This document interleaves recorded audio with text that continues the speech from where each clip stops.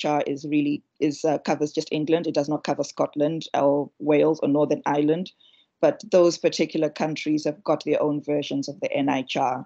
And as you can see on the map there, um, that's that's our spread, um, and they do cover quite a variety of different clinical areas.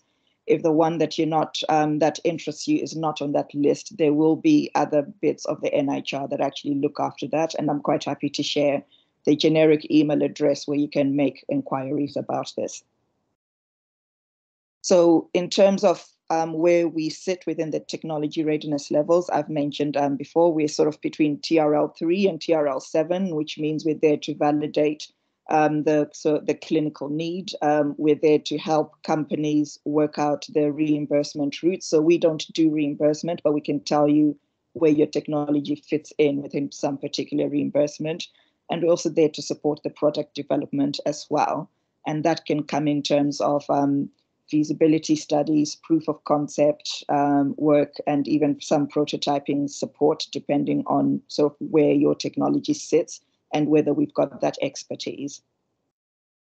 Um, our particular cooperative focuses on surgery, and that's because surgery is the, the large player in terms of secondary care. Most of it really does exist because of surgery.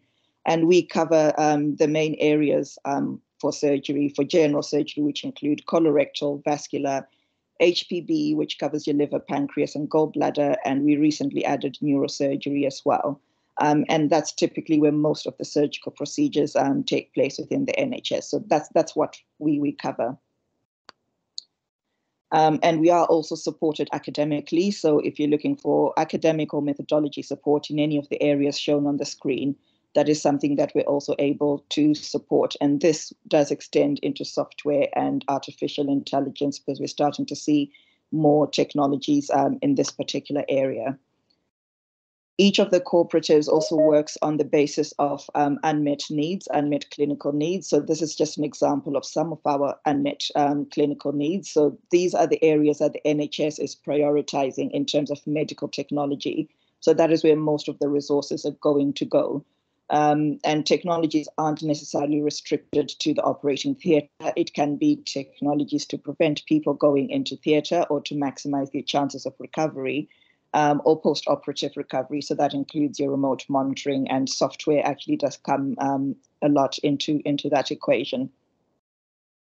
So um, this is basically why we do it. And one of the things that we do is we build collaborations with different players. And this is where EG technology comes in today.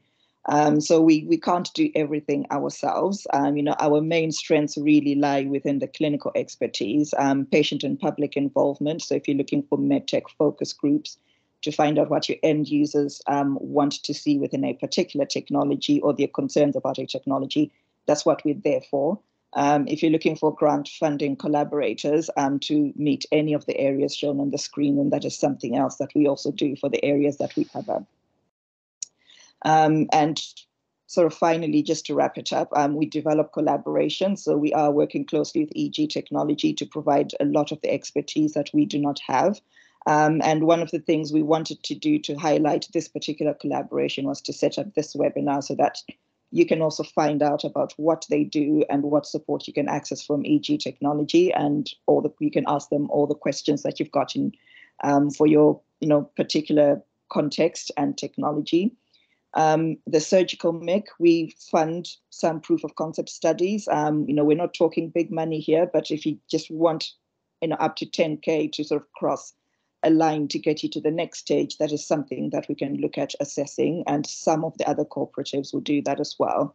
Um, and finally, we can also help to leverage additional funding. We've done that for a couple of companies within the software space where we're, we're quite successful in helping them with particularly Innovate UK funding. Um, and in return, we're also able to provide a clinical site where they can actually um, conduct some of the evaluations and work with some of the staff in the hospital setting to actually refine that technology. Um, so that's basically who the Surgical MedTech Cooperative is. This is why we've set up this webinar because we do want people to access um, the resources that other people have, other organizations have, because we do want to see more technology come into into the NHS, and um, we're, we're enablers in that sense. Um, so what I'll do now is I'll hand you over to David, and David's going to introduce himself, and then he's going to lead the webinar. And in the meantime, if you've got any questions, then please use the Q and A function um, of the of the Microsoft Teams um, software, and we will look at going through the questions at the end of the session. Um, so, David, I will enable the presenting function for you. So, ready when you are. Okay, great. Thank you very much. I'm, I'm assuming you can hear me okay. That is always the first test. And let me just share my screen. You okay? Able to see that okay? Okay, excellent. So uh, thank, thank you, B, for that. Um, good morning, everyone. Thanks for joining this uh, NIHR workshop. So my name is David Warwick and I'm one of the directors at EG Technology. We specialise in the design and development of medical devices and in vitro diagnostics, and about 70% of all of the work that we do is in this medtech sector. Uh, by way of personal background, my original degree was in computer systems engineering, and I've now spent nearly 20 years working on medical devices and regulatory affairs in the medical and biotech sector. Uh, what that means is that I've taken lots and lots of medical devices with software through 62304 assessment, which we'll talk about quite a bit today, uh, CE marking and FDA approval, uh, including devices with, with software safety class C, which is the highest risk category. Um, in today's talk, I'm going to take you through what I hope is some practical advice on the development of software for medical devices and health software in general. Um, We'll also look briefly at cybersecurity and AI as these are some hot topics and new regulatory guidance is now starting to be published in these areas. So the the obligatory slide on on various project products that we've we've developed for other peoples, uh, many of which are medical, but some of which are also consumer oriented as well, including things like an RFID cat feeder and the Hive Home Hub. Um, so um, whether or not you're deep in the R&D phase or preparing for your clinical evaluation and whether or not you eventually expect to launch your product in the UK, the EU or global markets, uh, what I want to stress is that following an established software development process gives you the best chance of success at each stage of your development and a solid foundation for maintenance and support as your product grows. In this webinar, I'll start by giving a brief overview of some of the key aspects of medical device classification uh, and talk briefly about both the IEC 62304 and 82304 standards. Um, so I'll start with a quick introduction uh, on medical device classification and hopefully we'll see how that's linked to the software safety classification that's given in IEC 62304. Then we'll remind ourselves of some of the key points um, for the software development lifecycle.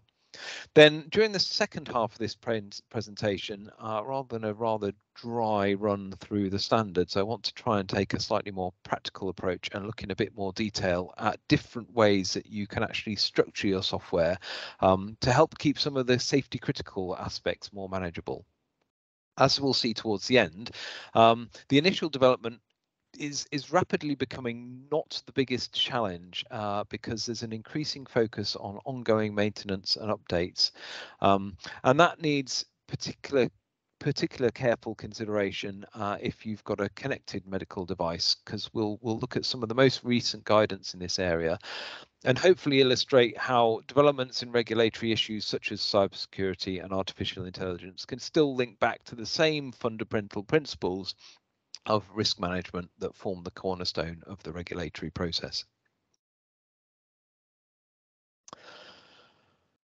Just thinking about um, medical devices in general, uh, we're talking about medical devices here are obviously very similar analogies can be made for in vitro diagnostics as well. Uh, those people probably know something about the different classifications of medical device. Um, what I've put on this slide is a kind of anecdotal ad hoc method of classification, and you, you sometimes hear people quoting this, uh, perhaps unsurprisingly, these are not the descriptions used in the regulations. Um, but what it does do is introduce the idea that medical device regulation is all about the risks inherent within in the device uh, with a particular impact on uh, focus on the potential impact on the patient. Uh, anyone who needs to work out their device classification actually needs to run through the classification rules. These are generally straightforward. They're provided for in the medical device regulation or, or IVDR, if that's what we're working on. Um, uh, as I say, they're generally straightforward, but can lead to some surprising results, uh, especially with respect to devices that you might worry are at the higher end of classification, class 2B or class 3. But if you apply the rules carefully, um, you might actually find that it turns out to be only a, a class 2A or, or a 2B. Uh, as an example, uh, two systems pictured here are both used to uh, help detect uh, to image the skin to help detect skin cancer. Uh, the device at the top is a class 1 and can therefore be self-certified. However, the device at the bottom is a class 2A because it happens to incorporate some IR light. Now, if we delve into the detail, uh, Annex 8 classification rule 10 includes specific wording about non-visible light. So it doesn't actually matter that the intensity of the light in this device is about the same as a typical TV remote control. Believe me, we we tried to get away with that one. Um, the wording of the regulation is very clear, and and that subtle change to Class 2A is significant because it means that the device at the bottom required a third-party assessment, a, a notified body audit, before it could be CE marked.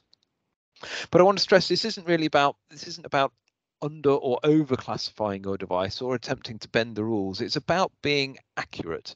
Since, in addition to the specific requirements of the regulations, the, the classification sets the tone for the level of rigor for your whole development program. And with that in mind, the device classification device classification also helps you think about software safety, but there isn't an explicit link, as we'll see in a moment. So the first thing to do is determine how your software will be classified. Uh, so first you need to think about whether you're actually developing a medical device or are you developing more general purpose health software. Uh, the definition of a medical device or in vitro diagnostic comes from the applicable regulations, not from the IEC standards that we'll be talking about a little bit later. Um, uh, that's true whether we're talking about the EU, the US, or other global territories. Uh, the question really is where does the boundary lie between medical device software and health software? There's because the, there are always going to be grey areas, and the, the standards really even acknowledge this. Um, the approach that I recommend is to actually take a step back and make sure you're really clear first of all about your intended use and and actually write it down this this is quite a good exercise you might be surprised at how hard it is to consolidate all of the aspirations and the potential uses you've got for your product into maybe just one or two paragraphs, maybe even one or two sentences, remembering that everything that you claim in that intended use needs to be backed up with evidence. Having written it down, you can then check how your intended use aligns with the precise wording of the regulations uh, and consider the risks. Nine times out of 10, this, this careful review will give you the appropriate answer.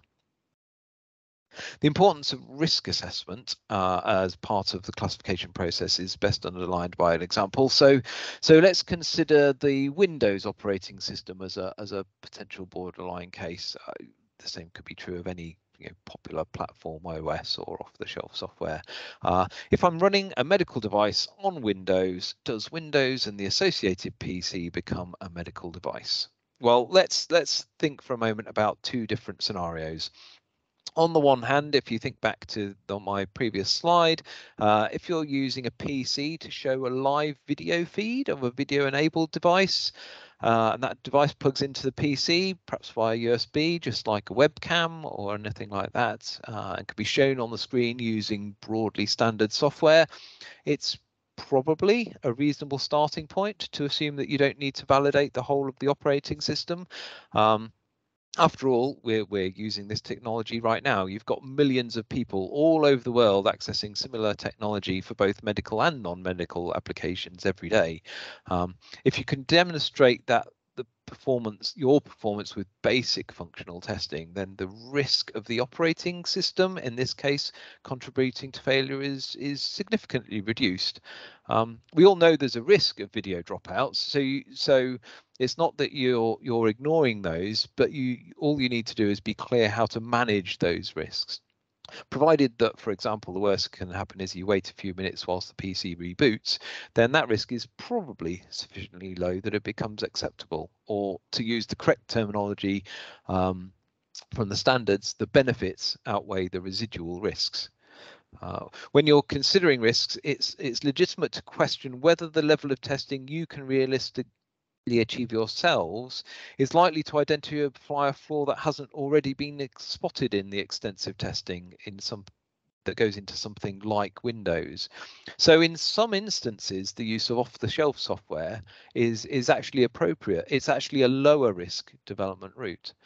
Um, but on the other hand, if we take a more extreme case, if you were planning to use Windows as the underlying operating system to run a ventilator, uh, keeping somebody alive, you'd want to be pretty sure that it isn't go on going to go off and install Windows updates and reboot whilst you're not looking.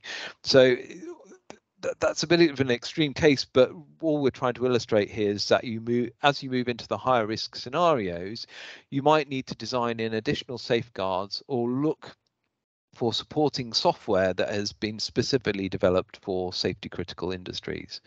Uh, time and time again, you'll see references to risk management, and I'll mention it lots and lots of times during this talk.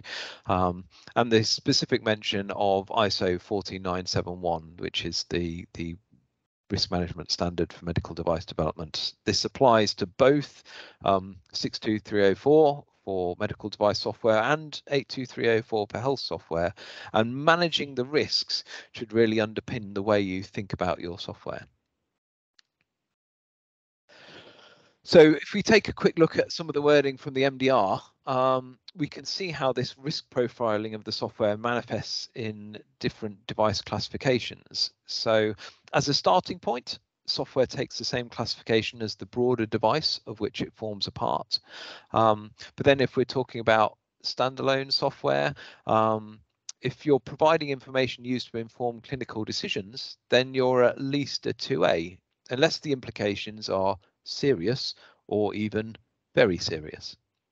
Yeah, in a practical sense, what this tends to mean is that the vast majority of medical device software falls into class 2A or higher, since in most cases, software does at least have some impact on, on clinical decision making.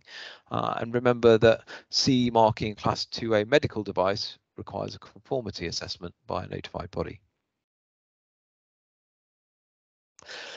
The distinction between health software and medical device software can be really quite subtle, uh, as as I've mentioned. Um, the distinction made in the standards is that uh, health software is intended by the manufacturer for uh, managing or maintaining or improving the health of individuals or improving the delivery of care, whereas a medical device is specifically intended for the diagnosis, prevention, monitoring or treatment uh, of, of disease.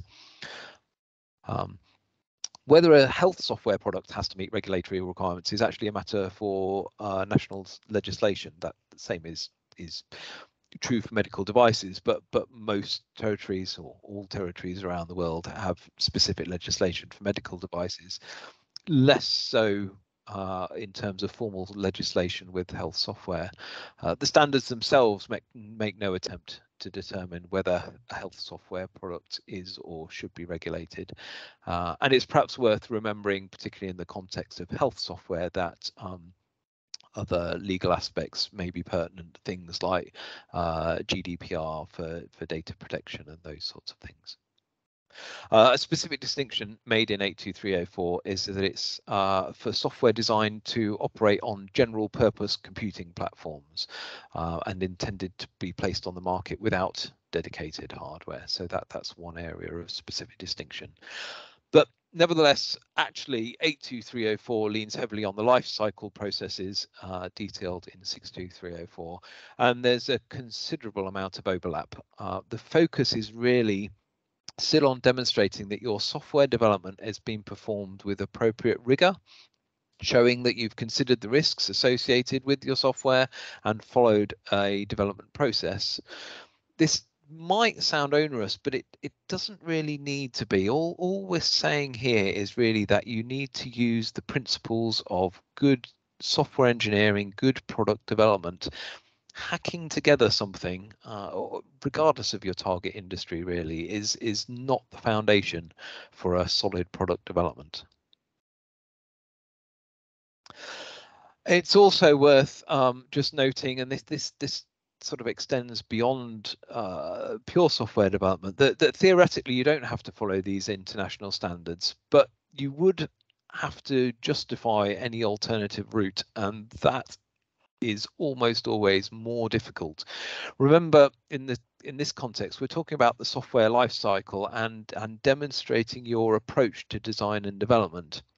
Um, in that context, actually these standards are well aligned with what is generally regarded as good development practice.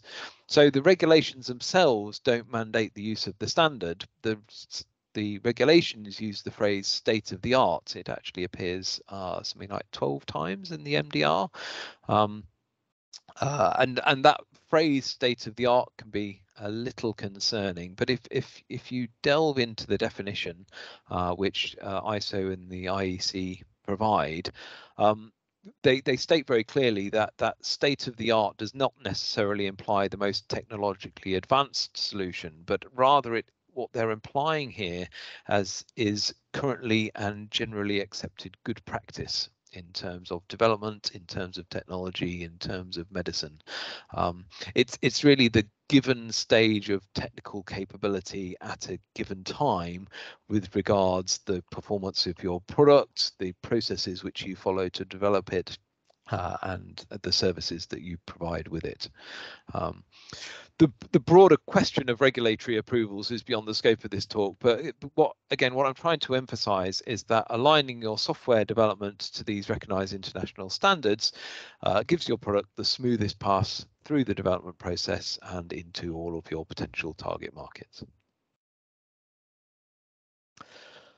so uh, once you start thinking about software safety classification, we need to be clear that we are now talking specifically about the software. So while there's it's common for there to be a link between the overall device classification we discussed a moment ago and the software safety classification, there isn't a direct correlation.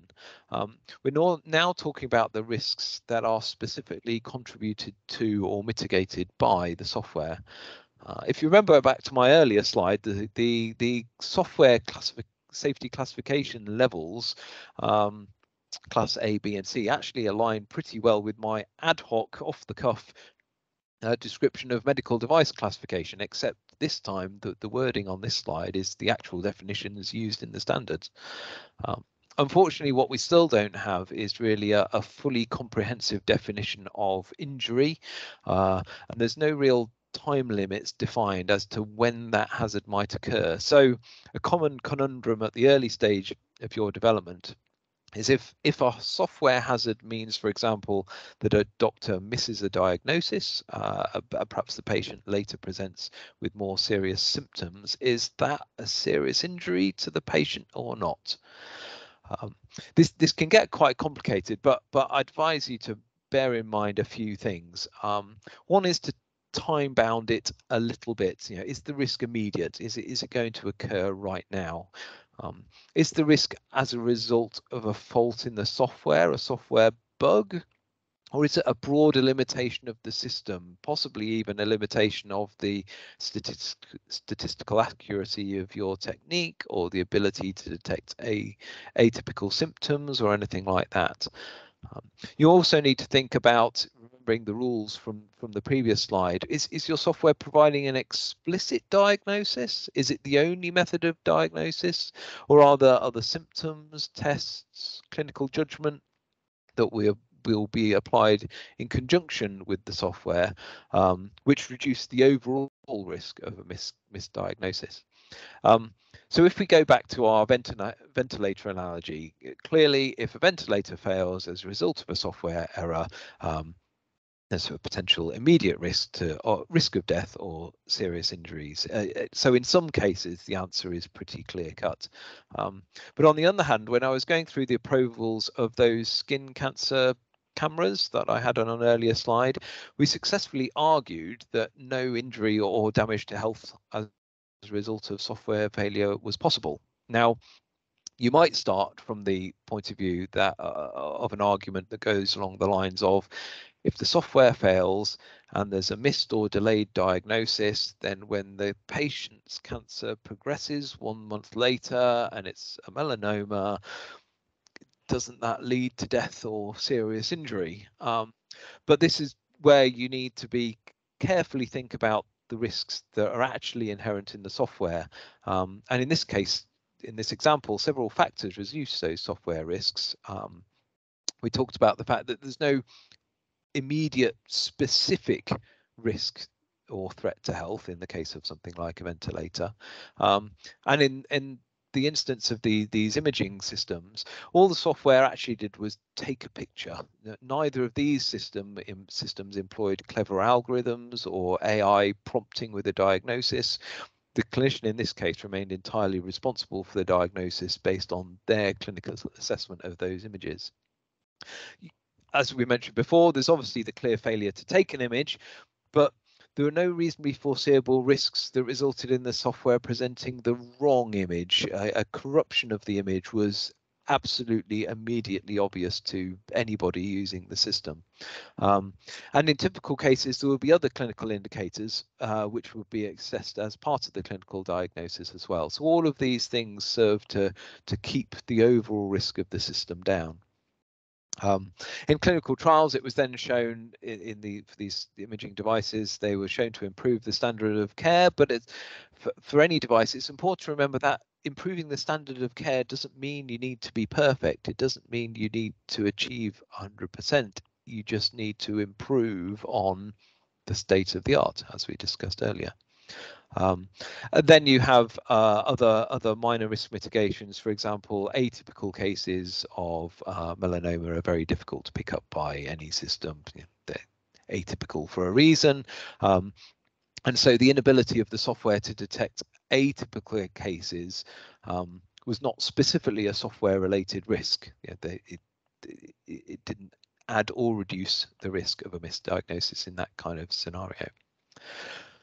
It's also important to remember that you aren't required to mitigate uh, implausible risks. So, so as we said earlier, be, beware of constructing really long chains of events that lead you to a negative overall outcome. This happened, then this happened, then this happened, and then the patient suffered some harm. You, you need to think back and think: can can the software reasonably mitigate that that whole chain of events by one particular action? It's important because as the safety concerns in the software increase, so does the level of rigor that you need to apply to the software development. Uh, and the standard sets out which requirement, uh, which parts of the, st standard apply at each level. Of course, there's nothing stopping you uh, applying more than is required. You're unlikely to get away with applying less than is required. Um, so if you're hovering in that grey area between classifications, it might make sense to err on the side of caution. Uh, the flip side of this, of course, is that if you're confident uh, in your rationale, if, if you've built it well, if you've documented it well, then there are sections, whole sections that you actually don't need to apply, and you've got a standard that you can point at um, if you're questioned by an auditor. As as with the overall device classification, this isn't really about trying to squeeze in uh, below a particular threshold or bend the rules. It's it's about making an objective, balanced assessment and then following the appropriate product development steps. So 62304 and 82304 established a requirement for software lifecycle processes. Um, what that means at its core is that the standard tells you the processes you need to implement and what activities you need to undertake for the safe design and maintenance of medical device software. So you aren't accredited to 62304. It works in much the same way as risk management. You apply the principles as part of your product development process and demonstrate that you followed them on a specific device in your technical file. So it's really a kind of an extension of, of the quality management system that you need to wrap around the whole of a medical device development to make sure that your software development processes meet the particular challenges of software development and as we'll see in a moment increasingly test and maintenance into the future. Uh, the standards prescriptive. Very, very few are. It doesn't say you will use this particular coding standard. It doesn't say you'll use this particular language, um, nor does it really give you a huge amount of information on how to implement the required processes in your organization. It simply tells you the areas you need to cover and provide evidence for, not really a, a template for how to achieve it. Um, in some respects, this is one of the biggest strengths of the standard because you can adopt a, a, pretty pragmatic development approach appropriate to the product in question. So modern programming methodologies can be incorporated into the framework. So you can use industry standard development processes such as Agile. They're, they're absolutely aligned with the requirements uh, of the 62304 standard remember our definition of state of the art from earlier. A developed stage of technical ability at a given time with regard to process uh, generally accepted as good practice in technology and medicine. So we're not aiming to reinvent the wheel here. We're simply looking to follow and to be able to show that your development followed good design and development practice. Uh, as i said earlier provided you're you're following sound engineering principles true for your broader device as well and you're not just hacking things together. You've you've got most of that solid foundation on which to build your documentary evidence. So as we move forward now uh, I, I want to talk a bit more about some of the techniques that you might actually use to help constrain the scope of your software development uh, and and how to keep the software taste, testing and ongoing maintenance of that software manageable. Um, the aim is really to start with a software architecture that provides a foundation for your software into the foreseeable future. Uh, it's a required part of the 62304 development standard. But in, in doing so, you're hoping to maintain the, the flexibility to develop and update the software uh, only needing major retesting and, and resubmission uh, when appropriate for the changes that you've actually made. In general, and, and by default, the software system takes on the same risk category as the most risky subsection of the software uh, of the of the whole software. But um, fortunately, the the standard allows you to break that software down into smaller software items, uh, as they're called in the standard, um, and assign potentially different classifications to different parts of the system. So through careful system design, you can identify and segregate some of the more risky aspects of the software from those that might carry, carry a lower risk um, if there happens to be a failure. So in the next few slides, we'll explore different ways of achieving this. Again, the most important message is that these design decisions need to be taken at the start of the project uh, as they're key to the system architecture that you'll be developing. You, you can't bolt them on later without substantial risks in terms of the time and the cost implications for, for any rework. So the first thing we consider in any uh, software project is medical device software project is whether the risks arising from the software could actually be mitigated in hardware. Uh, generally speaking, this is a good approach if you've got fixed, uh, easily measurable parameters where uh, a cutout type hardware function could ensure that the worst, most serious risks are mitigated. Uh, another way to think about this is whether you can design the system so that the software can only control the system within a safe, lower risk range, um, with the hardware then providing safety critical backups, a safety critical backstop. Uh, within the safe range, you might still have risks associated with suboptimal treatment or risks associated with uh, with lower level of harm. The, the point here is that the most serious risks, the most critical risks are taken care of by independent hardware. But in, in many modern systems, the term, determination of an error uh, can require much more complex measurement or a derived measurement, or there might just be simply too many scenarios than you can realistically cover in discrete hardware. Hardware mitigation is a valuable tool, uh, but don't be too afraid to look for software solutions. So the diagram on this slide uh, outlines an approach that we regularly use to help segregate the design and verification of the, the higher safety classification systems. Uh, as you might guess from the name, the safety processor maintains responsibility for ensuring all safety critical aspects of performance are maintained, assuming the main processor goes wrong. With some careful design choices, what what we tend to try and do is keep the functions of the safety processor reduced to only those core safety functions because this narrows the scope of your most safety critical software, making it easier to code the system overall and easier to validate the system overall. Sometimes it's not actually about the function of individual components. It can be the order in which they're used or the tasks which they're asked to perform. Um, this can be particularly useful in lab automation for devices that might incorporate a range of functionality, a range of treatments based on sequencing of individual hardware components. This method generally assumes that the software has some elements, the, the hardware elements, whose whose performance and response to stimulus can be regular, rigorously defined and tested. So the actuation of valves, the movement of syringe pumps, pumping and moving through, uh, you know, fluids through the system, for example. The clinical benefit and therefore the clinical risk uh, in instruments like this derive from operating the correct sequence of, of the hardware and the ability to reproduce that sequence time after time.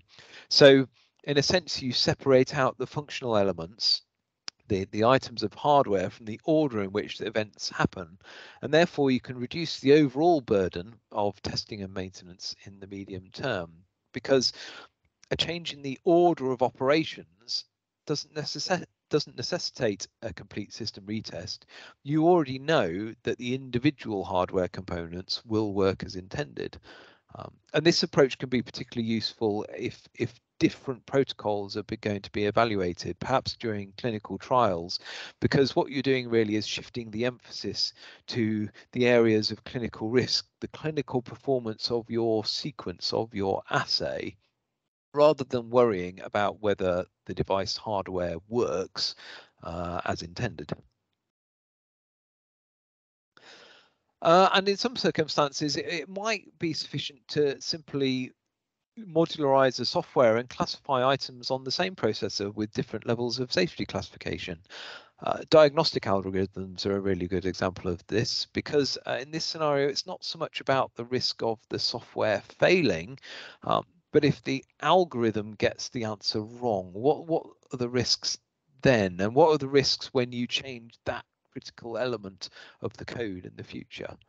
Um, so whether we're talking about mathematical algorithms or some kind of dynamic adaptive machine learning, what you're acknowledging is if if these critical functions are to change in the future, uh, then considerably more scrutiny should go into validating those changes changes to those higher risk modules than, for example, correcting a typo on the user interface.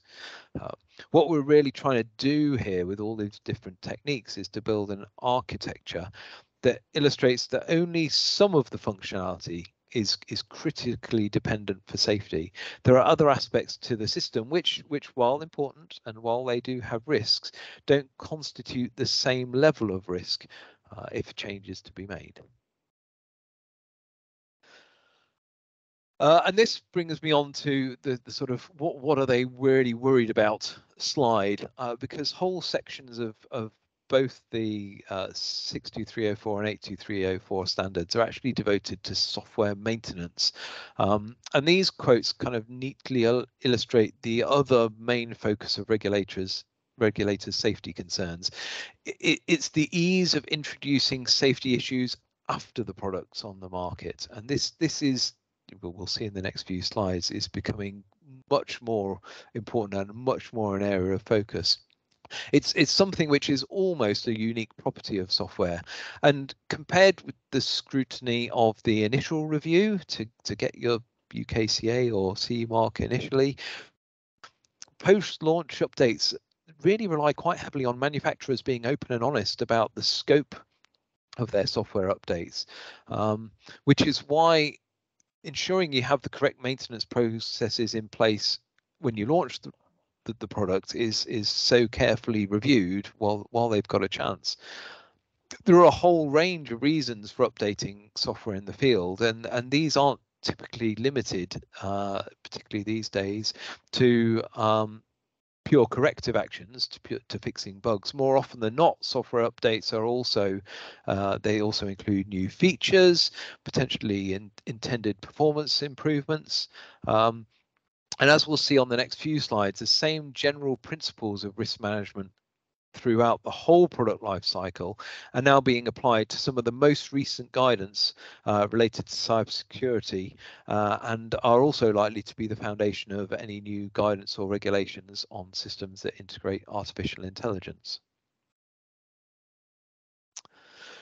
So of particular relevance for health software, but coming under increasing scrutiny for all medical devices is the issue of privacy and security. Uh, with so many connected devices coming onto the market, um, as I mentioned earlier, there are other legislative requirements to maintain privacy and ensure patient confidentiality, including things like GDPR.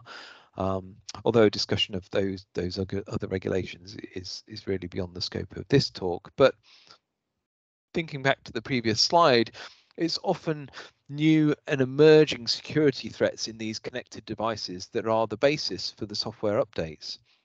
So with connected devices, it's also common to rely on third-party software, uh, whether that's pre-built modules or library code, for example, to provide the underlying connectivity if the operating system that you're using uh, is updated, perhaps with security updates, it, becomes almost inevitable that you'll have to release updates for your software, and therefore you need to ensure that you've got those maintenance processes in place.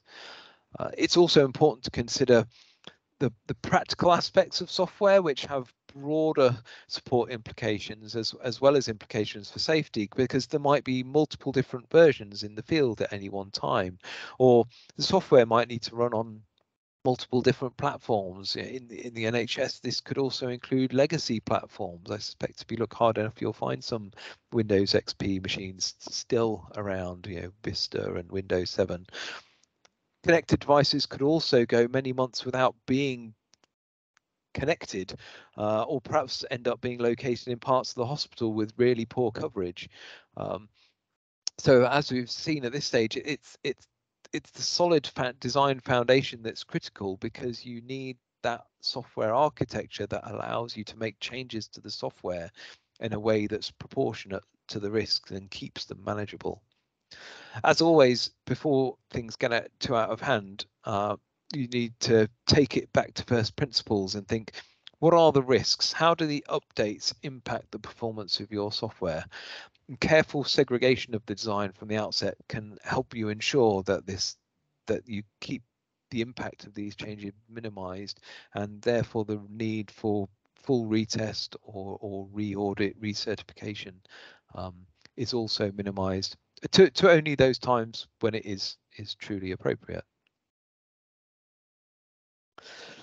So um, just in terms of latest guidance in areas around um, both cybersecurity, uh, artificial intelligence, and AI, um, this is probably the most recent piece of guidance that only came out earlier this month. Um, and the principles found in this guidance document from the FDA are that they're focused on improve the improvement of device cybersecurity for, for medical devices, but hopefully in the next couple of slides, I'll, I'll show that we're, we're starting to see some common themes emerging. The emphasis uh, in this guidance is on the total product life cycle. The product life cycle is a part of 62304. And, and thinking back a couple of slides ago, it, it's primarily concerned about the risks associated with the software and software updates once it's been placed onto the market. Yeah, it further confirms that that safety and efficacy through risk management it needs to underpin the way you think about your device, your software development, and the way in which you provide support. Um, it's also worth noting that publication of this guidance hasn't required uh, a change in the federal regulations. So if if you remember back to some of my earlier slides, the MDR doesn't reference specific standards either. It uses the terminology state of the art. This allows new guidance to be published and best practice to move forward. Now, I'm mixing regulatory jurisdictions a bit here, but but there's more in common between the different regulators than there are differences. And perhaps the key message is that some of the latest and most comprehensive guidance on cyber cybersecurity has recently been published by the FDA. And while that that can't be directly applied to CE marking, it's certainly a significant contribution to what is considered state of the art. And therefore, you might expect that by following the the the principles of this guidance, you are following state of the art, and therefore meet both the requirements in Europe as well. The cybersecurity guidance has got quite a bit to say on the subject of field updates. Uh, I don't intend to read through each of these bullet points now, um, but if if if you look at them, hopefully you'll agree that they seem seem logical and they they seem proportionate. Um, what I'd actually like you to do really is is scan through these bullet points and imagine that all of the references to cybersecurity are replaced by artificial intelligence or replaced by machine learning. The idea that medical device software in field is continuously updated.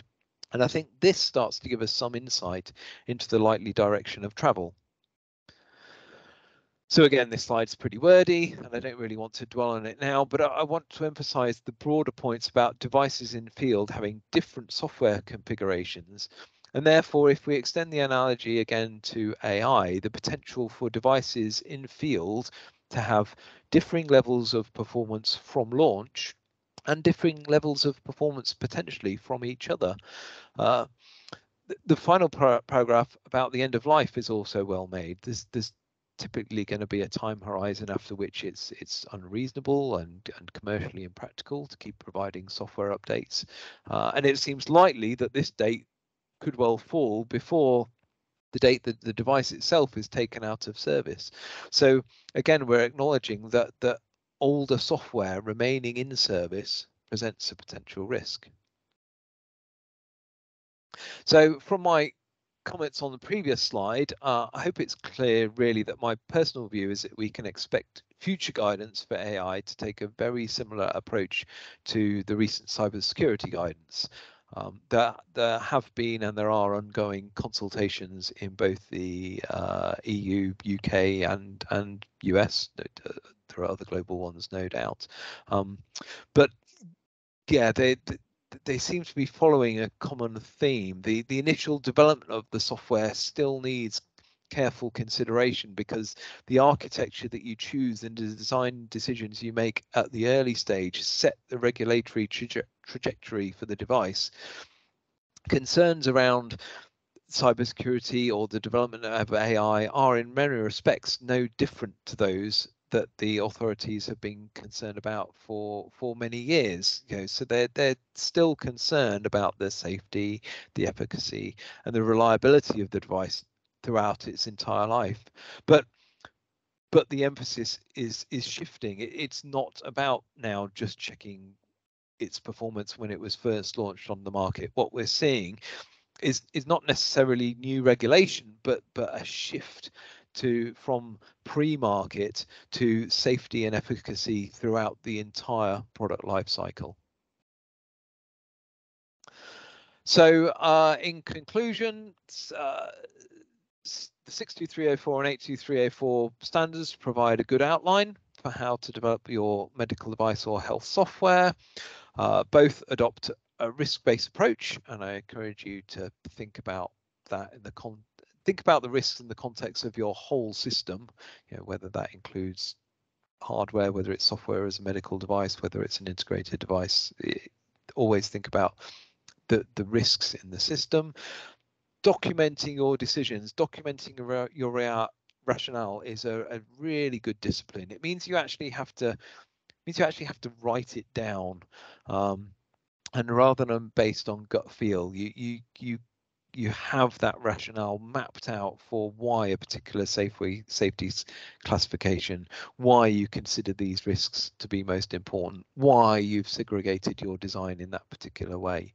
Um, but be honest with yourselves, don't go overboard. Uh, it, it, it's easy to get on your your your blackest of black hats and and and talk yourself into doomsday scenarios and and that's that's not necessary. Um, but but equally, don't try and fly under the radar. As I said earlier, it's about trying to take an, an objective, balanced, you know, reasonable view of of the the, the risks that are inherent in your system. Um, but you need to make sure you start as you mean to go on, which is is why this idea of, of software architecture and think about your safety classification and documenting your decisions at the early stage is so important because attempting to retrofit this is going to be really costly it's going to be time consuming uh, and it's ultimately going to increase your your time to market. As you saw at the end, I mean, the most recent guidance is shifting emphasis uh, to the total product life cycle, but but as we saw in some of the slides, it's actually an area they've they've always been concerned about. So we can expect lots of new guidance to come out, but actually the regulations already allow for that guidance to be developed. Um, it, it, it is really just a shift in focus. Um, to make sure you you've carefully considered how you're going to manage your devices uh, once they've been deployed. Um, it it all but perhaps it sounds uh, sounds a bit daunting and and and it's true that there are some nuances uh, involved in dotting the i's and crossing the t's and and and getting through a notified body audit audit or a, a, a 62304 assessment um, but the message i really want you to take away is that an awful lot of this is really just good practice. It's good practice for medical device development. Uh, it's good practice for software development and just for, for product development as a whole. So uh, I encourage you to think about that throughout your uh, throughout your product developments. And then I'm hoping V might have curated any questions for me uh, that might have occurred during the course of that talk. Yeah, certainly. Thank, thank you, David. Um, and um, if anyone's got any, there's a couple of questions we can get started on. Um, but I can also give a few people the option. If you find it easier to ask your question via your mic, um, then please put put your hand up, or just put something in the chat function, and then I will I'll unmute, unmute you personally. So um, the first question we have actually is um, is GDPR uh, concerned, for example, using a camera on a patient with identifiable information. So basically, is that a relevant risk or is it considered separately? Uh, uh, well, so if, if, you're if you've got identifying information, um, then it's going to fall under the auspices of the GDPR. So you are going to need to think about that carefully. Um, they're they're subtly different things, of course, because the the patient data is isn't a a medical device risk in that sense. So so in in a in a very broad sense, um, the the the safety and efficacy of the medical device itself is not going to be too concerned with uh, privacy and security. But of course, yeah, GDPR is a legislative requirement, as is the medical device regulation. So, so if you've if you've got that uh, identifiable data, if you're keeping that, then you do need to to make sure that you've uh, uh, you know covered covered off those areas, and the things like the cybersecurity guidance uh, are it covers cybersecurity gu- guidance covers a really broad gamut of things because they're obviously concerned about um, particular attacks, disabling devices, all of those sorts of things. But they're also worried about security breaches, breaches of patient data, and all of those sorts of things as well. Okay, thank you. Um, second question we have. Um, in terms of risk assessment, how do you differentiate between implausible worst case scenarios and appropriate consideration of a worst case scenario? Um, so I think it, it's something that that a lot of people struggle with. Um, a good good overall technique for that is, is really to um, map out the risks that you think can occur in your system at the start before you actually get into the mechanics of of doing the risk assessment. So uh, a technique we commonly use is we'll actually have a, uh, some thinking around what the what the risks are and classifying those risks uh, or, or, the the actual hazards are. Um, before we start working through how can they occur and that sort of thing. So if if if the device suffers a failure, what you know what are the what what is the outcome of that is is there a risk to the patient because then what you can do is is map that product failure to all the different circumstances all the under which that that failure can occur. And what that helps you to do i suppose is as you're as you're working through your risk assessment you you will hopefully find that there are actually only a few different potential outcomes from the system. Um, and so you, you, you can map them onto the ones you've already thought about rather than going down the rabbit hole each time you think of a new risk that that's not I don't feel like that's really a very satisfactory answer, but the, the, there's probably an entire talk to be done on on risk management and that sort of thing. But um, yeah, if if you identify the the actual harms that and uh, that can occur to the patient before you start delving into the risk management, that will hopefully keep you a little bit more grounded um, in in terms of disappearing down the rabbit hole of, of doomsday scenarios. Yeah, thanks. And I think it sort of links in. So, for example, with some of the work that um, that we do with the with the clinicians, I think they're also a good source for exploring what um, what harm looks like um, and what actually risk management looks like from their perspective. Um, so you know, to avoid people going down the rabbit hole of, you know, the whole entire electric grid goes down, you know, I need to factor all of this into account is actually if you talk to the clinicians, they can actually tell you what's most what's most important to them.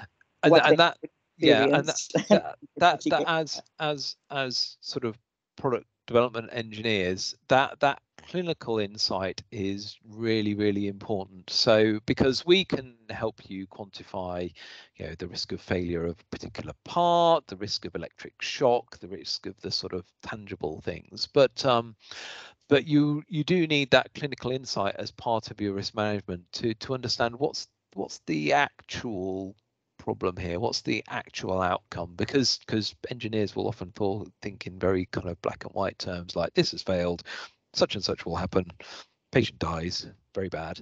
Um, and and and a clinician will say ah but standard practice if that occurs is that we'll do this and then we'll do that. And things things potentially completely unassociated with your device but things which mitigate the risk to the patient because lots of these things are you know they they of course they have an inherent risk to them. And so there are there are already risk management activities built around sort of standard of care, standard practice, uh, which help mitigate the risk in your device. The other thing I'd also want to sort of stress uh, is again the point I made during the talk about not needing to be 100%. You, know, you, you could imagine a system you know, if you improve the survival rate of a, a risky technique from 20% survival rate to 30% survival rate, that that's an improvement. That's a good thing. The fact that there's some big scary risks in that 70%, that, that yeah, yes, they're still there, but you're improving on the standard of care. And so um, yeah, that that's something else to bear in mind when you're you're thinking about the overall risk in your system. Thank you. Um, so the next one, I'm not sure with. I'll, I'll, I'll, I'll, I'll, I'll let you sort of answer it, but then I probably could add some stuff to this as well. Mm-hmm. Um, but how exactly is a clinical evaluation of software um, as a, med- uh, a software-enabled medical device done? How is that? How is a clinical evaluation done? Uh, well, so so uh, clinical evaluation is a is a, is another big topic all by itself, unfortunately. Um, but uh, I as a starting point, I'd suggest you don't see software as as a separate part of the system. Think think of the device holistically. So so if you're thinking about the the clinical evaluation, you need to be thinking about the whole system. Um, so in in much the same way as if you had a piece of hardware, um, you, you, you, you need to understand the the configuration that you're putting into the clinical trial and that sort of thing. You need to control and understand any updates that might be made during the course of that clinical trial. Um, but yeah, it, broadly speaking, it, it doesn't need to be treated differently to anything else. The the where it starts to get really tricky and is definitely the subject of an entirely different talk um, is when you're talking about uh, sort of machine learning, development of a machine learning system, and the the training data sets. Um, the, the there's not a lot of of definitive guidance out yet at the moment in that area, um, but the thing to focus on, I think, is is really understanding. If we talk about something like machine learning, understanding the the and controlling the data sets which you use to originally train the system. The, the you then conduct your your clinical trial and and how you're going to evidence at the end of that clinical trial perhaps the system has you know has grown has learned how what what data you're going to use at the end of that to be able to demonstrate that performance is at, at, least on a par with where you were when you started hopefully you know improved how, how do you provide evidence to that Lot, lots of people are scratching their heads in that area because it is it is quite a tricky one to to get a handle on. Yeah um, certainly. And um, we see a lot of um, sort of requests for clinical evaluations for for these types of technologies. Um, and I mean, I guess the best place to go really would be your clinical trials methodology units because then they try and understand exactly what your software is trying to do um, and whether it actually is going to contribute to any patient, um, you know, clinical outcomes. You know, if it's just purely looking at improving a service, then that's that's slightly different. Um, you probably wouldn't go through them, and you'd go talk directly to procurement. But if it's got an intended action on the patient, um, so going back to David's definition of a medical device compared to health healthcare device is um, you know it's what is it is it going to diagnose something? Is it going to help in the treatment? Is it going to inform a treatment decision? Those are the things that clinical trialists would be looking at is how do we evaluate those? And they wouldn't look at the software on its own as you're saying david. They're actually looking at the entire healthcare system and how that's going to contribute to that.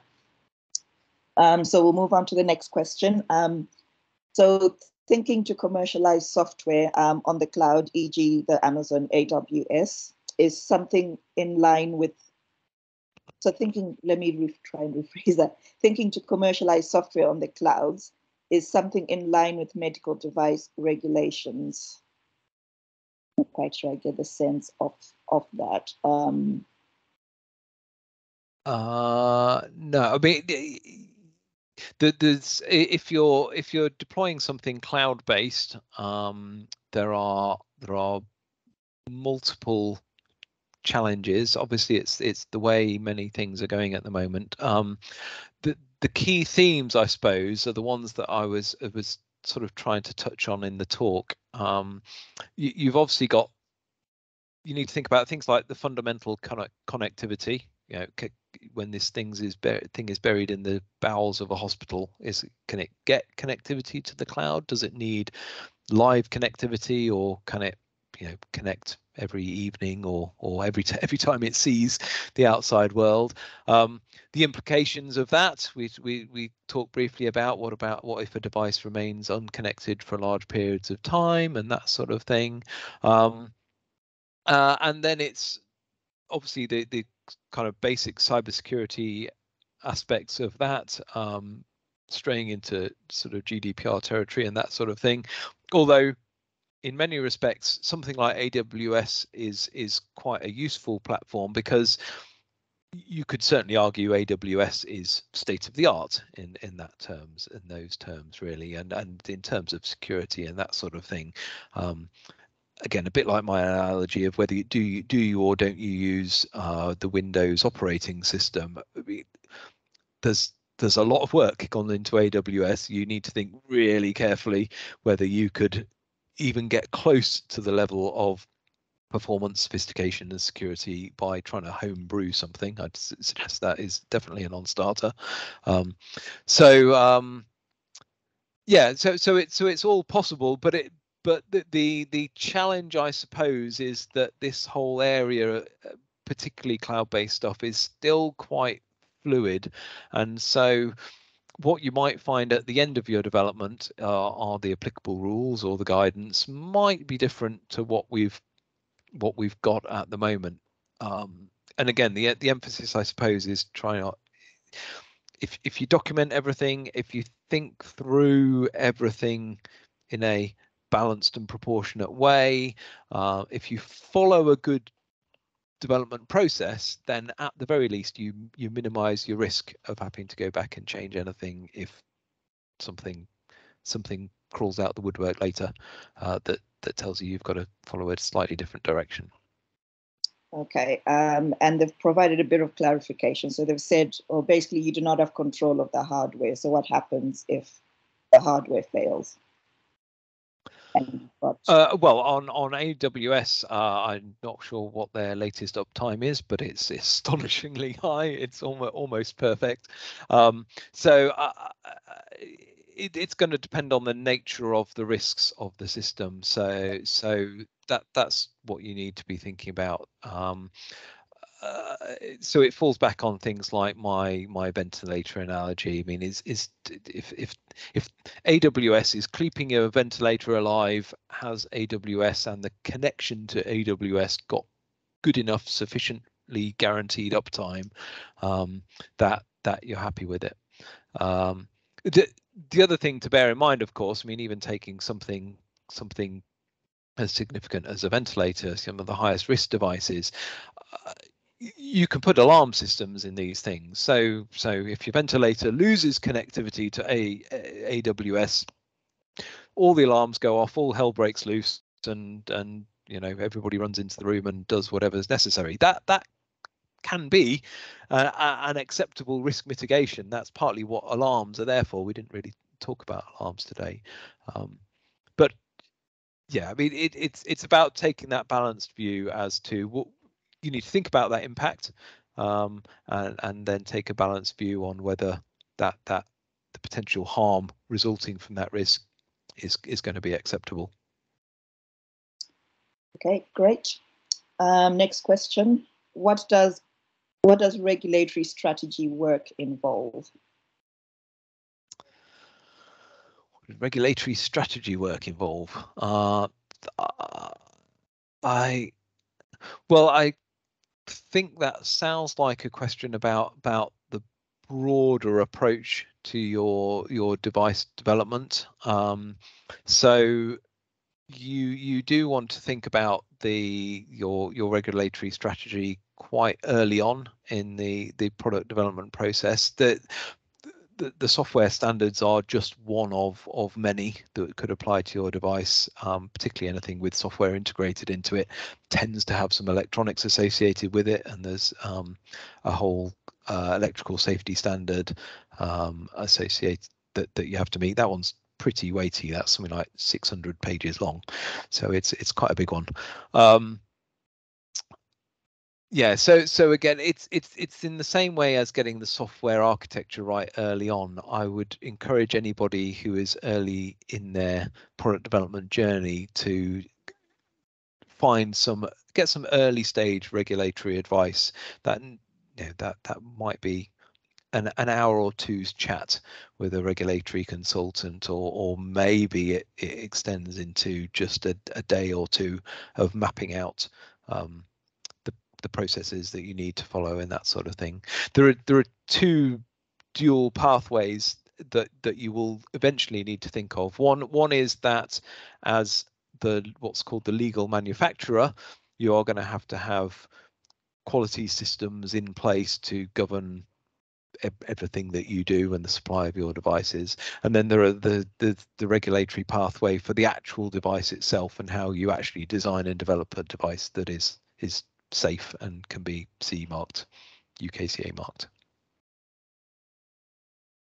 Thank you. Next question. What type of AI and cybersecurity documentation is required as part of CE UKCA mark application? Oh, if only we knew.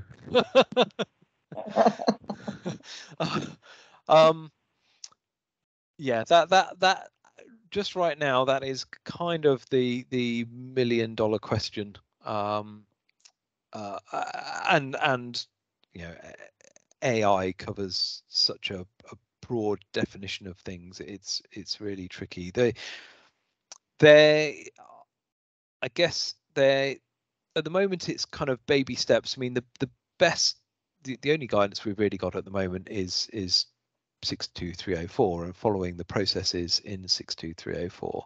Um, so it's about how you've you know documenting your development and how it's designed and and then I think you extend that into your your expectations for the system and how you are going to control control the risks of undesirable changes. How are you going to know if your system has gone off and trained in completely the wrong direction?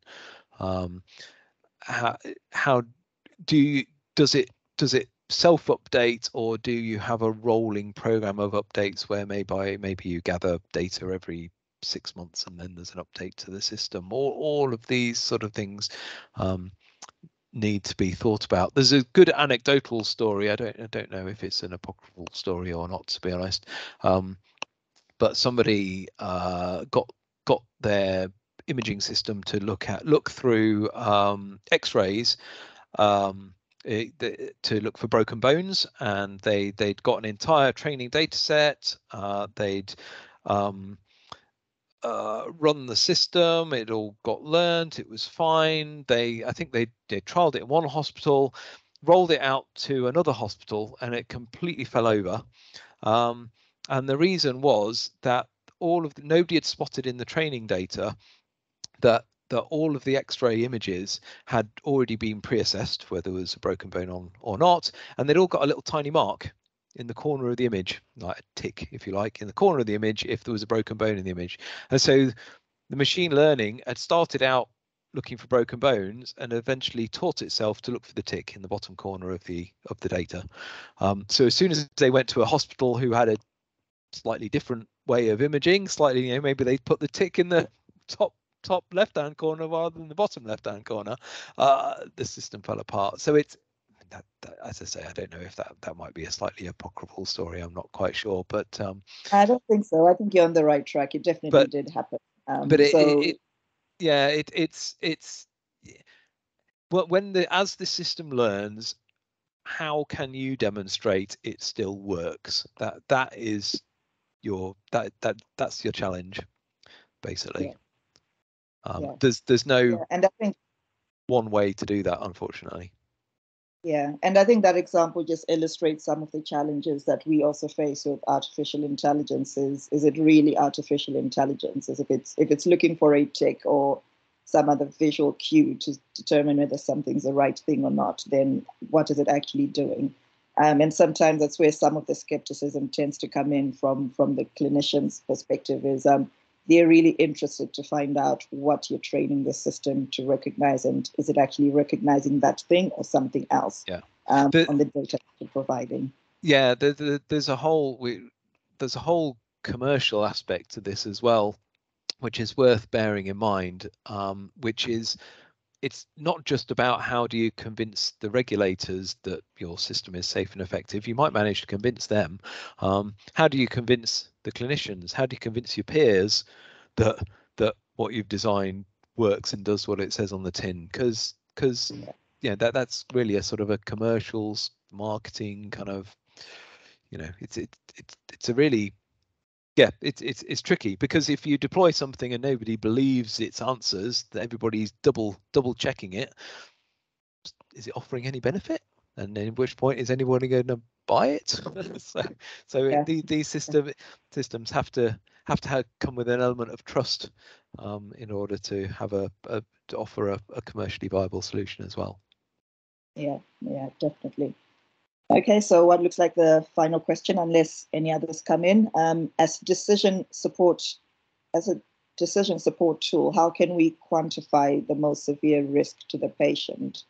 We do not connect directly to the patients, but rather um, offer clinicians a tool to support their decisions. Yeah, so um, the well, I'd have to understand a little bit more about about you know the, to what level decision support is being made, but they they have tightened up in this area quite a lot. Uh, it used to be uh, 10 years or so ago you could you you would put your put your device through saying it was a decision support tool and that meant wash wash my hands that you know it's all the responsibility of the clinician don't worry about it mr regulator please please pass my device um, they've kind of got wise to that, which is really uh, when I was talking about medical device classification, why you it's quite hard to find class one medical device software these days because most things at least imply something. And and most you know most regulators will then take the view well even if even if it's decision support it's they're still relying on that supporting evidence to be right to be good. It's going to lead them in a particular direction. Um, so yeah, that, so then it, it's well, it, it, it all ultimately comes back to the risk. Um, so so it's if it's decision support, how how, supporting you know when the when the cli- clinician sees the the information that you provide, what what are the actions that they're going to take?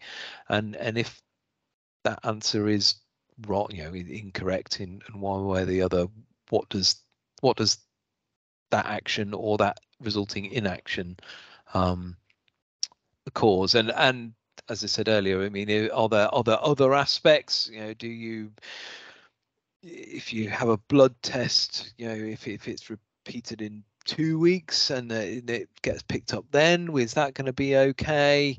Um yeah lot, lots and lots of different different scenarios but as, I, as i've said several times now I, I think think you try and write it down but but then also think don't forget that context of of what can the software you know realistically help with? If the software says you know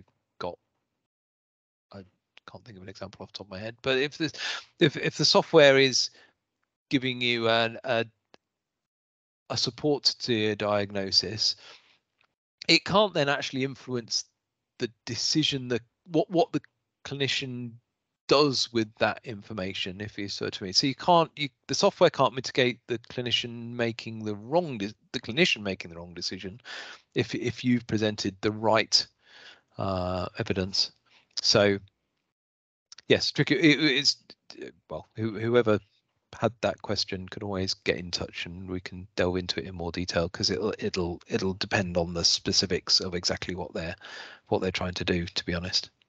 Yeah, yeah, no, definitely. I mean, I mean, thinking through an example of one that we had was um, a software tool that was designed to um, aid surgeons in making a go no go decision for surgery. So they mm-hmm. basically mm-hmm. took through a whole lot of parameters for the patient, and then the system would tell them, well, actually, this patient either needs to lose weight, or they need to go on this regime, or they need to go for surgery. Um, which on the surface looks brilliant, but actually, from the surgeon's point of view, they didn't see what value it added to the process because they mm. already go through that in their heads. Um, because they've done so many cases, they've probably known this patient. Um, if it's a long-standing patient, they know exactly what they need to do. They know what therapies they need to do. So what value is this adding? Um, and they actually mentioned that if the software could then tell them the outcome, which was the most positive, which was likely to generate the most positive outcome for the patient, as you know, actually instead of this surgery, you do this kind of surgery. That's something that they would be looking at rather mm-hmm. than telling them something that they can already figure out or they already know, because you can then put the software in the hospital, but after a while, people stop using it and they'll just default to whatever they were using before because it's easier and quicker.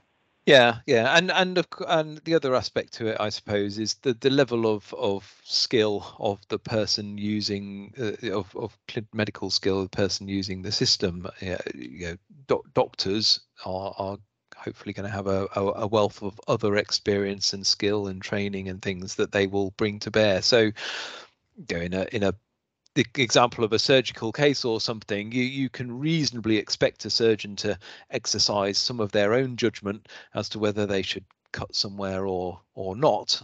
Um, mm-hmm. but they might be heavily supported by the tool, but they're also a, a you know they're also a surgeon.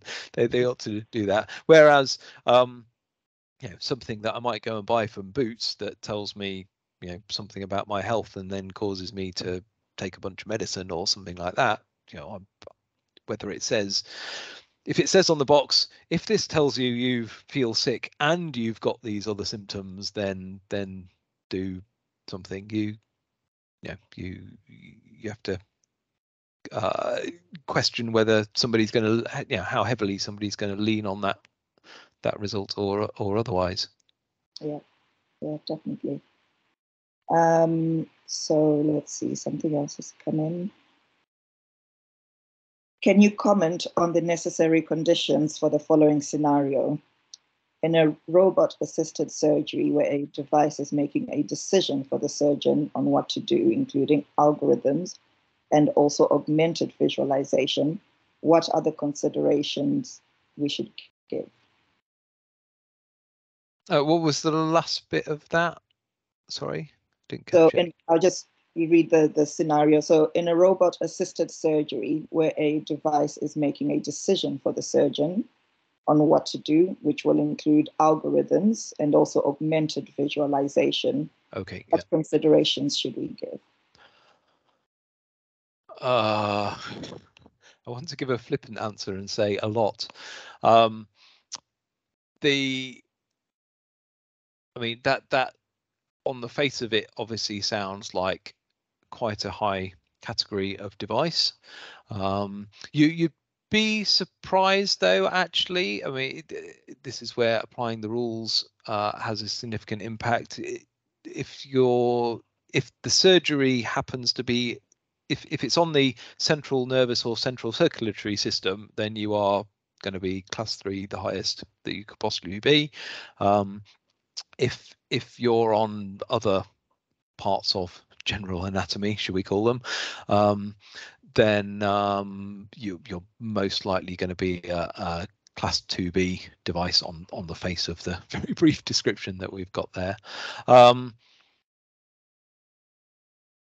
yeah, I mean that the description of what you've got there has got several fairly complex elements to it because you've got sort of augmented visualization, which you've got to show works and is effective. You've got um, the robotic element uh, to it, which you've got to show does whatever it's supposed to do, performs as it's supposed to perform. Um, and then you've got the, you know, any decision making AI uh, stuff going on in terms of how it goes from what it's seen to to how it performs. The the analogy, I suppose, with the descriptions I gave earlier, though, of course, is one of the things you might be able to separate out in that context is the performance of the robot. If you remember my um, slide about uh, laboratory equipment and proving that the hardware works, what you might be able to do is sort of slightly separate. You know, does does the robot arm articulate in all the right ways? Can it cut or move or whatever it does in all of the right ways effectively on its own and separate that from the question of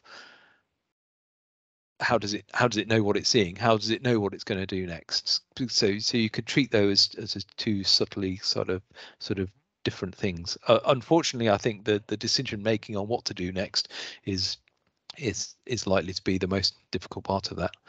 Um, yeah i mean again again if if anybody's got specific questions then then get get in touch. That that on the face of it sounds like quite a quite a tricky problem. Okay thank you. So i think that's all that has come through that we have. Um, yeah, um, so yeah, I think Young was asked the question, said, I realized my question was perhaps too specific. Um, yeah, you can definitely get in touch with um, with David um, and then obviously have a more thorough conversation around that. So I guess one final question from me is um, if people want to carry on some of these conversations with yourselves and EG technology, what's the best route for them? You know, what would, how would you advise they go about that? Uh, I think I mean uh, my my details are on the on the slide there. I'm I'm assuming we'll be sending the slides out after the talk. So and and certainly anybody that wants them is is is welcome to have them. So um, yeah, just just drop drop drop me an email, drop me a, a LinkedIn. I'm sure you'll be able to find me on LinkedIn, and um, yeah, well, we'll we'll see what we can do. See if we can. I'll, I'll point you in the right direction at the very least. Okay. We we but remembering that we we are uh, product product design engineers, so um, it, as we that means we have a, a lot to do in terms of developing things in accordance with the regulations and things like that. But some of the very much more specialist um, regulatory advice, you we might just be able to point you in the direction of somebody who's who can help a bit more. Okay. No, that's that's very useful. And um, Lois has also posted um, um, a blog that you've you've done, David. Um, I will also I'll circulate this as well um, out um, with with the recording. So the recording will be available, and I'll circulate that out together with a link that Lois has just put down. And I mean, from our side as a, as a surgical MIC, as I mentioned earlier on, I mean, you know, we have invited David um, specifically to talk about this because that's not expertise that we have. Um, but one of the reasons as well is, you know, if you're considering submitting a, a fund, funding application, particularly to the NIHR, for example, I4I, and you do need sort of um, clinical expertise, or you're looking to have a medtech focus group with a bunch of patients or carers to find out what they think about it and whether they would vouch for it. Um, if you've got a technology that's going to go through NICE, for example, um, they do have patient panels, then that's something you can also contact us about. Um, and you know where where we can, we're able to help, and where we are not able to help, then we can obviously forward and signpost um, to um, organizations like EG Technology um, and others that work with, in different um, sort of clinical areas or might have different expertise levels in different things. So we tend to be sort of a signposting service for that. Um, but um, thank thank you once again um, for everyone that that came through. Um, thank you, David, um, for giving up your time and talking us through what is um, a complex topic. yeah, yeah, no problem. For, Hope it's been useful. yeah, and yeah, I'll I'll definitely send out the the the video a link to the video for for everybody else to sort of play at their leisure and they can go through your slides as well. Um, and um, the contacts are on, on the slides for either the Surgical MedTech Cooperative. Um, if you're looking for a different clinical area, then let me know and I can signpost you to the relevant areas as well. Um, so thank you once again, um, David, and thank you to everybody else. Great. Thanks very much. Okay. Bye. Bye-bye.